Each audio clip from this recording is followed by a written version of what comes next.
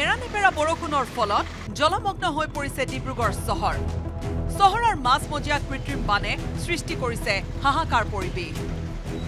বৃহস্পতিবাৰৰ পৰাই একাঠু পানীত বুৰ গৈ আছে পৌৰ নিগমৰ কাৰ্যালয়। বৃহস্পতিবাৰে নিশাৰে পৰা হোৱা বৰষুণৰ বাবে ডিব্ৰুগড় চহৰৰ বহু এলেকা এতিয়া পানীৰ তলত। কৃত্ৰিম বানৰ বাবেই এতিয়া ব্যাহত হৈছে চহৰবাসীৰ স্বাভাৱিক জীৱন যাত্ৰা বানৰ মাজতে অতিষ্ঠ হৈ এজন লোকে অভিনৱ ৰূপত সাব্যস্ত কৰিলে প্ৰতিবাদ। পানীত বুৰ যোৱা ডিব্ৰুগড়ৰ এটা সদাব্যস্ত পথত হাতত বাল্টি লৈ মুখত স্পাইডাৰমেনৰ মুখা পৰিধান কৰি লোকজনে সাব্যস্ত কৰিলে প্ৰতিবাদ। ৰাজপথটোৰ পৰা বাল্টিত পানী লৈ নলাত পেলাই অভিনৱ ৰূপত প্ৰতিবাদ সাব্যস্ত কৰে লোকজনে। এই প্ৰতিবাদেৰে ডিব্ৰুগড়ৰ কৃত্ৰিম বান ৰোধত প্ৰশাসন তথা বিভাগীয় কৰ্তৃপক্ষই গ্ৰহণ নকৰা পদক্ষেপ উদঙাইছে প্ৰতিবাদকাৰীজনে। চহৰৰ ভিন্ন প্ৰান্তত হোৱা পানী ওলাই যাবলৈ কোনো ব্যৱস্থা নথকা বাবেই দৰাচলতে এইদৰে জীয়াতু ভুগিছে বিভিন্নজনে। কিন্তু কৃত্ৰিম বানত ককবকাই থকা চহৰখনৰ এই পৰিস্থিতিক লৈ নিৰ্বিকাৰ প্ৰশাসন।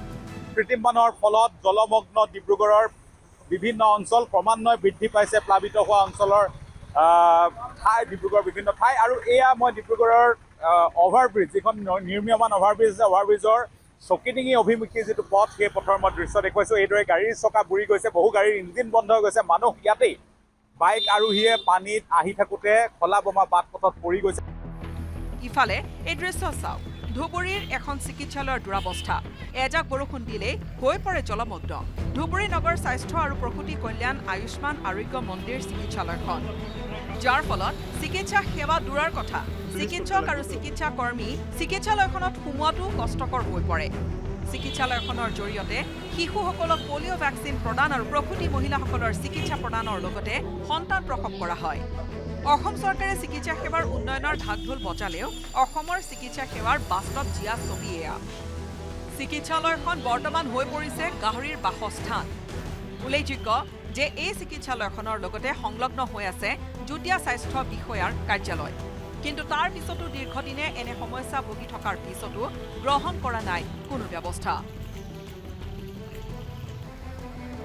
কৃত্ৰিম বানে জুৰুলা কৰিছে শিৱসাগৰবাসীকো। বৃহস্পতিবাৰে নিশা হোৱা এজাক মুখলধাৰ বৰষুণৰ পিছতেই শিৱসাগৰ চহৰৰ কেইবাটাও অঞ্চল ডুব গৈছে কৃত্ৰিম বানত। O' N G C colony Lakshminagar Phukan Nagar কৃত্ৰিম বানত ডুব যোৱাত বাৰুকৈ জ্বলাকলা খাইছে ৰাইজে। চহৰৰ মূল নলা নৰ্দমাসমূহ বাম হৈ পৰাত ঠায়ে ঠায়ে বন্ধ হৈ থকাৰ ফলতে বৰষুণৰ পানী ওলাই যাবলৈ নোৱাৰাত কৃত্ৰিম বানৰ সৃষ্টি হোৱাত প্ৰতিক্ৰিয়া ৰাইজৰ।